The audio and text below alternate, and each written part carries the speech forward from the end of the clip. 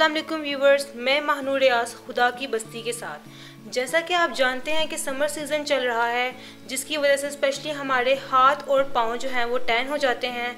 और मज़े की बात यह कि ईद भी आ रही है तो मेरी तरह काफ़ी लड़कियाँ चाहती होंगी कि उनके जो हैं वो हाथ और पाँव स्पेशली जो है वो अच्छे दिखें। तो आज मैं आप लोगों को एक रेमेडी दिखाने वाली हूँ मतलब बताने वाली हूँ। तो इसके लिए जो है हमें क्या चीज़ें चाहिए, वो मैं आपको आहिस्ता आहिस्ता नोट डाउन करवाऊँगी। और फिर चलते हैं हम लोग अपनी, फिर रेमेडी की तरफ़। तो ये है बेकिंग सोडा ये बेकिंग पाउडर नहीं है यह है बेकिंग सोडा ठीक है? इसमें थोड़ा डिफरेंस होता है तो आप ध्यान रखना। अब हम चलते हैं लेमन की तरफ़। मुझे मतलब मीडियम साइज़ लेमन चाहिए, ठीक है? चले, मैं फिर स्टार्ट करती हूँ।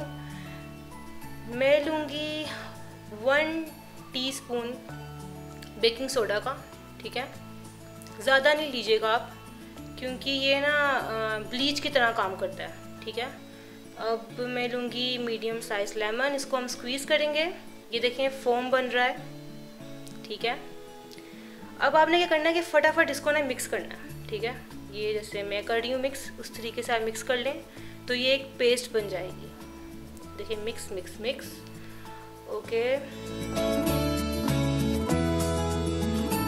तो ये देखें इस फॉर्म में आ जाएगा। अब मैं आपको इसको लगा के दिखाऊँगी। तो मैं आपको ये बताऊँगी स्पेशली कि आप इसको ना हाथ और पाँव के लिए रखें इस स्क्रबर को। क्योंकि मोस्टली गर्ल्स के या बॉयज़ के जो है ना, वो स्किन सेंसिटिव होती है तो वो ना फिर रैशेस कर देंगे आपकी स्किन पे। तो ये देखें देखें जैसे मैं जो हूँ, वो कर रही हूँ इसको स्क्रब आपने जेंटली स्क्रब करना है। रेयर कमांड यूज़ कर करें हम लोग। आपने बहुत पोलाइट हाथों के साथ स्क्रब करना है, ठीक है? जैसे मैं कर रही हूँ। और हाँ अपने नकल्स पे भी करें स्पेशली जो मतलब कि ज़्यादा प्रोमिनेंट होते हैं, जो ज़्यादा डार्क होते हैं, ठीक है? ये देखें इस तरीके से स्क्रब करें आप, जैसे मैं कर रही हूँ।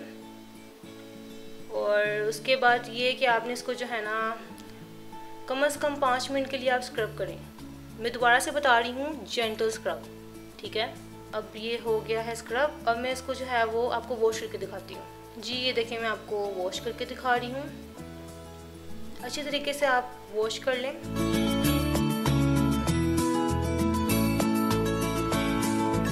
सो so, अब मैं ड्राई करके आपको दिखाऊँगी। ये देखें आप डिफरेंस देख सकते हैं। ये वॉच वाला हैंड मेरा जो है वो भी मैंने स्क्रब किया है देखिए गौर से। स्मूथ भी हो गया काफ़ी ना सॉफ्ट भी हो गया और ये दूसरा हाथ है मेरा। मतलब इसने मेरी स्किन को चिट्टा नहीं किया मेरी स्किन को लाइट किया है। जो मेरा स्किन टोन है, उसको लाइट किया ठीक है? सो आई होप कि आपको अच्छी लगी हो तो स्टेट यू नेक्स्ट वीडियो के लिए, तब तक के लिए अल्लाह हाफिज़।